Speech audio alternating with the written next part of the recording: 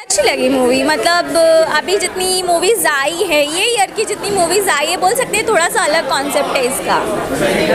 कुमार पृथ्वीराज का काम कैसा लगा उनका स्टोरी की बात करें तो स्टोरी कैसी देखो साल 2000 साल 2023 में दिसंबर में आई थी फ़िल्म इनकी सालार जिसमें ये काफ़ी डिफरेंट रोल में थे काफ़ी डिफरेंट इनकी एक्टिंग थी और आफ्टर दैट जब हम ये मूवी देखते हैं द गुड लाइफ इसमें टोटली डिफरेंट पृथ्वीराज नज़र आ रहे हैं और उनकी एक्टिंग तो सुपर है।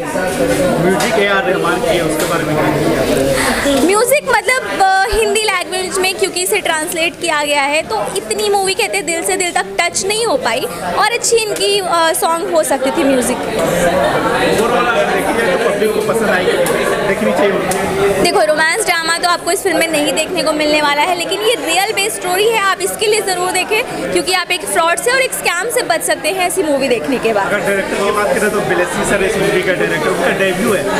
तो उनका मूवी का डायरेक्शन कैसा लगा स्टार्ट टू एंड मूवी की बात करें तो काफ़ी अच्छा रहा है लेकिन सेकंड हाफ़ में अगर थोड़ा सा यू नो कि सीन्स कट किए गए होते जो रेगिस्तान वाले सीन जो अपने घर को फाइंड आउट कर रहे थे वो सीन थोड़ा कम होता तो शायद शॉर्ट एंड स्वीट दिख सकती थी मूवी में जाते जाते अगर रेटिंग देनी हो तो पाँच में से कितने stars three stars three stars. बहुत अच्छी लगी फ़िल्म कोशिश नहीं है छोड़ी। हिम्मत हिम्मत भी नहीं आ रही कोशिश भी नहीं छोड़ी। तब घर जाना था।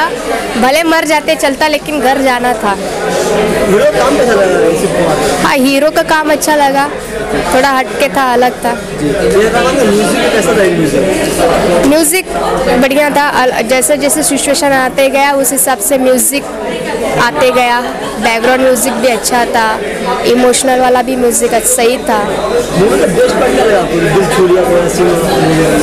वो जब उसको रोड मिल जाता है, वो अच्छा लगा। चार। बहुत अलग, बिल्कुल डिफरेंट बहुत अच्छी कहानी। सारा कुछ बहुत अच्छा था। बस वो जो रेत में जो उनके भागने वाले सीन हैं वो थोड़ा सा मुझे कहीं लग रहा था कि उसको थोड़ा शॉर्ट किया जा सकता था। फ़िल्म को वही वही सीन वही वही चीज़, थोड़ा रिपीटेटिव लगा बट कहानी बहुत अच्छी है। एक जो डंकी अभी फ़िल्म आई थी, जिसमें दिखाया गया था कि अपना ही देश अच्छा है, बाहर जाने वालों की क्या हालत होती है, बहुत अच्छे से दिखाया। इट्स एन इंटरनेशनल फ़िल्म और सारे नेशनल अवार्ड विनर्स टीम है बहुत बहुत ज़्यादा अच्छा। उन्होंने बहुत अच्छा किया सारे लोगों ने। फ़िल्म में जितने भी दूसरे कलाकार हैं सबने अपने हिस्से का रोल बहुत अच्छे से अदा किया। ऑडियंस को देखनी चाहिए हाँ देखनी चाहिए। और एक खास वर्ग को तो ये बहुत पसंद आएगी।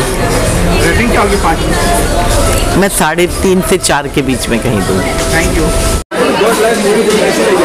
बहुत अच्छी स्टोरी बनाया है मूवी बहुत दिल को टच करने वाला मूवी है ये। अ, मुझे एक्शन बहुत अच्छा लगा। रोल जो किया है एक्टर ने बहुत अच्छा लगा। ऐसा लग रहा था कि रियल देख रहा हूँ मैं रियल स्टोरी देख रहा हूँ और ये ऐसा रियल हुआ भी है। अ, अपना गल्फ़ कंट्री में जाना बोले तो बहुत रिक्स की बात है। और कोई एजेंट के थ्रू जाना बोले तो वो भी और रिक्स है। क्योंकि दो रोटी कम खाना पर अपने इंडिया में रहना। गल्फ कंट्री जाना तो बहुत ट्रस्ट करके जाना। हाँ। बहुत एक्सेलेंट सबसे बेटर हीरो जो रियल लाइफ का ये दिखाया है वो हर इंडियन पब्लिक को सब देखना चाहिए ये मूवी बहुत मस्त लगा मुझे तो। अ, मैं फाइव में से फोर प्लस हाफ़ साढ़े चार स्टार दूँगा। The goat life. देखो यार, ये मूवी देख के ना आप भी इमोशनल हो जाओगे, हम भी इमोशनल हो गए मूवी बहुत अच्छी है बिलेसी सर इस मूवी का डायरेक्टर है। डेब्यू किया उन्होंने डायरेक्शन लग नहीं रहा कि उनका डायरेक्शन डेब्यू है। बहुत अच्छे तरीके से उन्होंने मूवी को डायरेक्ट किया है। कहानी ट्रू स्टोरी है, जिस तरीके से लोग जाते हैं अपनी फैमिली को छोड़ के आउट ऑफ़ इंडिया पैसे कमाने और किस तरीके से वहाँ पे फंस जाते हैं, उनको बुलाया जाता है कुछ काम के लिए और कुछ काम और दिया जाता है। उनका पासपोर्ट छीन लिया जाता है, वीज़ा रख लिया जाता है। तो उसी को लेकर कहानी है। एक फैमिली और बोलते हैं ना, वो फैमिली मैन की कहानी है। पृथ्वीराज सुम कुमारन की बात करें तो उनका परफॉर्म देख के ऐसा लग रहा कि उनको ऑस्कर अवार्ड मिलनी चाहिए। जिस तरीके से वो उन्होंने काम किया, उस कैरेक्टर को जिया स्क्रीन पे, ऐसा लग रहा था कि रियलिटी है उनका। हर एक सीन पे देखोगे ना, आप बोलोगे, यार, क्या बंदे ने काम किया यार। हर एक सीन पे आपके आँखों से आँसू आएँगे, आपके गुजबम हो जाएँगे। मतलब क्या बोलोगे, यार, क्या चल रहा है ये सीन मतलब कैसा लगे, आप रियलिटी देख रहे हो। एक एक सीन देखोगे, आप रियलिटी देख रहे हो। तो मूवी ओवरऑल मेरे को काफ़ी अच्छी लगी है। मूवी में एक्शन नहीं है। रोमांस नहीं है, आइटम सॉन्ग नहीं है, एकदम सिंपल सी मूवी है, एक फैमिली मैन की कहानी बताने की कोशिश किया मूवी में। तो ऑडियंस को मैं बोलूँगा कि आप देखो ये मूवी को और समझो और ख़ासकर मैं उस ऑडियंस को बोलना चाहूँगा जो फोकट का पानी बर्बाद करते हैं, जो कि आप देखोगे कहीं कहीं पे, जहाँ पे एक बाल्टी में नहाना होता है तो वो दो तीन बाल्टी से नहाते हैं, फोकट का पानी बर्बाद कर देते हैं, नल चालू करके छोड़ देते हैं, बहने दो।